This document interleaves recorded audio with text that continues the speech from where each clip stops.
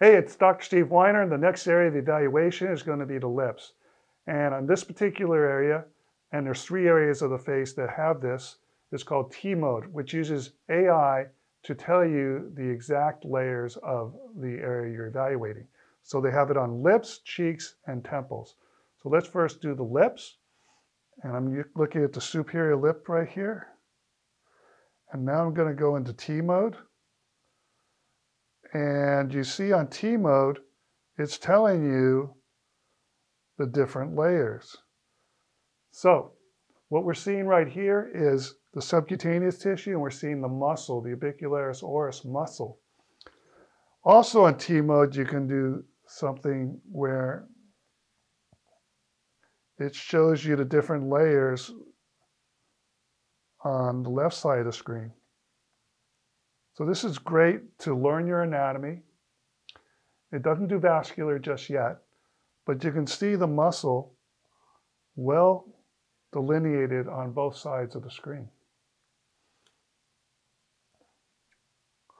So here's the muscle in the purple and the subcutaneous fat.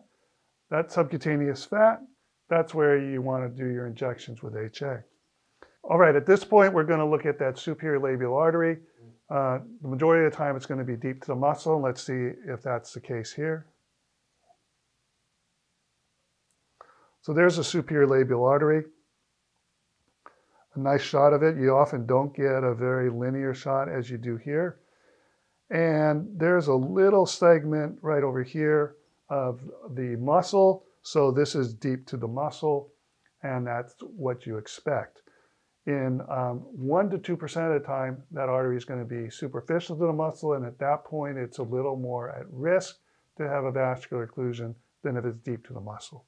The inferior labial artery is going to be a little more commonly in uh, the position above the muscle, superficial to the muscle, probably about 2 to 4% of the time.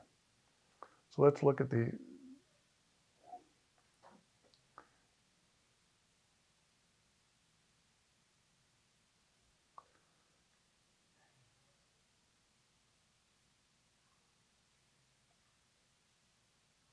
let's go back a little bit.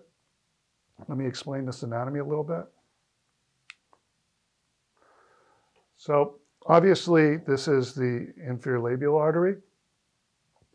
And you see teeth here. Teeth are going to be right here and here and here. And sometimes we're not sure when we're looking at an exam that we didn't perform, is this this upper lip or the lower lip? And sometimes you can tell by the teeth. If the teeth are smaller, the incisors are smaller, it's going to be the lower lip.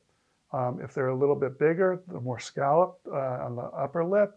Um, so that's how you determine if it's upper or lower lip. Again, here's the muscle. So in this case, the artery is below the muscle, so that's the most common presentation of the inferior labial artery. Inferior labial artery is going to be a little more tortuous, so you're not going to see it as linear as the superior labial, which is more linear than the inferior labial. We're going to look at the T mode on the lower lip at this point. And you can obviously see the different layers of the lower lip. And when you hit the freeze, you see the labels of the subcutaneous tissue as well as the muscle. I found that it's 100% accurate, so it's a great AI tool to help the beginner learn the anatomy.